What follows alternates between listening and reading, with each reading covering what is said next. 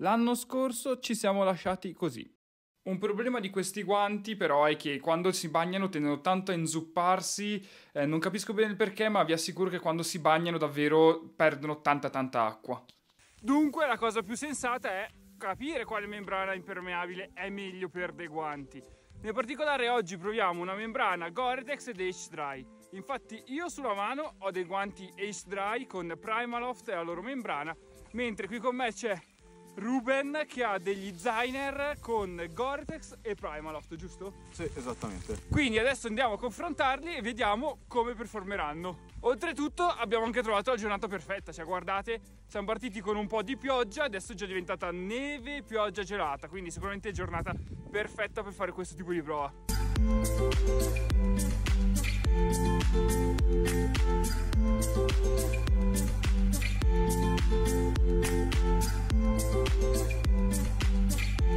Siamo partiti da tre quarti d'ora più o meno. Ruben, fammi vedere i tuoi guanti, raccontaci un po' come li eh, senti. Iniziano ad essere pesanti e belli zuppi. Direi non il top.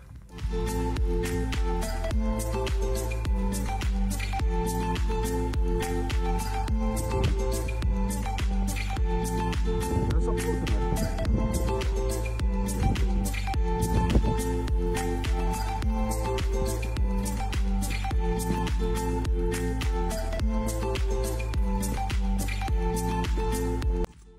Escursione è finita, andiamo un attimo alle conclusioni. Vi assicuro abbiamo trovato un tempo veramente, veramente cattivo. Ho ripreso poco, anche perché il telefono non ce la faceva banalmente. Eh, per quanto riguarda le condizioni meteo, praticamente abbiamo preso tre ore, tre ore e mezza di neve e acqua. E poi quando siamo arrivati in cima al colle c'era un vento veramente incredibile. Parlando di guanti, però, io come dicevo, H-Dry, guardate, nessun problema eh, sì, un po' nell'esterno si sono bagnati, ma perché comunque la parte esterna alla fine va a bagnarsi, però sempre, la stessa, mm, sempre lo stesso peso e non ho avuto davvero nessun tipo di, di problema, non si sono inzuppati, eccetera. Giusto per vi faccio vedere anche il sinistro, anche lui. Niente, davvero mi sono trovato benissimo.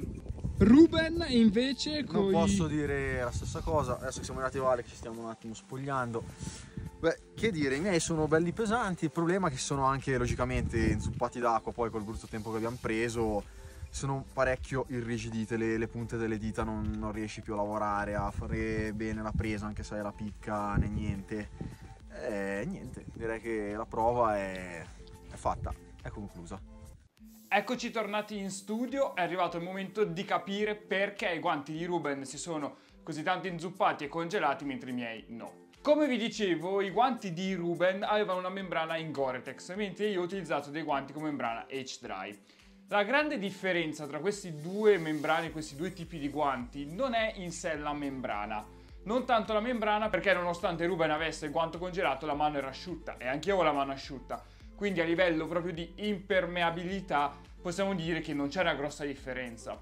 La grande differenza sta nel dove viene applicata questa membrana. Parlando dei guanti di Ruben, quindi con membrana in Gore-Tex, questa membrana viene applicata all'interno, nello strato più interno del guanto. Questo rappresenta un grosso problema perché tutta la parte esterna del guanto va appunto a inzupparsi, va a bagnarsi e eh, in casi estremi come è successo a noi quest'acqua potrebbe anche congelare col freddo e andare a indurire completamente il guanto. Oltre a congelarsi, poi il grosso problema è che eh, a questo punto il guanto tenderà a raffreddare la mano più che a scaldarla. Tanto vero mm, che arrivati a un certo punto ho dovuto dire a Ruben di togliersi i guanti perché si stava congelando le mani. Ha dovuto tenersi le mani in tasca tutto il tempo con degli scaldini nelle mani per riuscire un po' a scaldarsele, perché sennò rischiava veramente di avere dei geloni e dei grossi problemi. Per quanto riguarda poi anche la traspirabilità, questo tipo di costruzione del guanto è un problema perché nel momento in cui sta il guanto completamente impregnato d'acqua, capite che la traspirabilità diventa praticamente zero.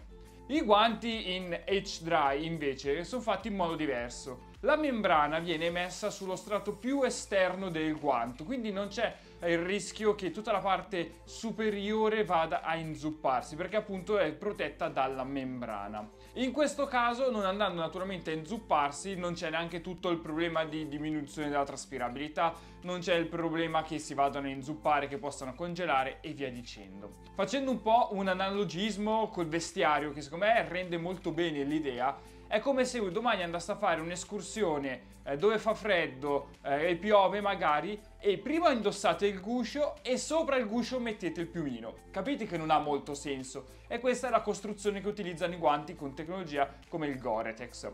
I guanti invece con tecnologia come H-Dry, facendo sempre l'analogismo col vestiario, è come se metteste su prima il piumino e sopra il guscio. A questo punto capite che ha decisamente più senso. Quindi la grossa differenza non è il tipo di membrana, ma è dove viene posta questa membrana. E capite che in quei casi in cui piove, nevica, come è stato il nostro caso, o per esempio fate delle cascate di ghiaccio dove la mano rimane tanto a contatto con l'acqua, col ghiaccio e il guanto potrebbe tendere a inzupparsi. Ecco lì diciamo che i guanti di H-Dry veramente hanno una grande, grande differenza rispetto al Gore-Tex. Quindi questa è la grande differenza tra questi due tipi di guanto, proprio dove viene posta la membrana. Una piccola precisazione perché se ad oggi di guanti in Gore-Tex ne esistono tantissimi, non è difficile comprarli, di guanti in H-Dry al momento sul mercato ne esiste solamente un modello, ma H-Dry mi ha rivelato che nel prossimo inverno 24-25 ne arriveranno diversi, quindi ne aspettiamo magari ancora qualche mesetto e vedrete che di guanti in H-Dry se ne potranno comprare un bel po'. E detto ciò ragazzi, nella speranza di avervi risolto un po' il dubbio sul perché i guanti impermeabili si inzuppano, io vi ringrazio per aver guardato anche questo video e noi ci vediamo al prossimo. Ciao!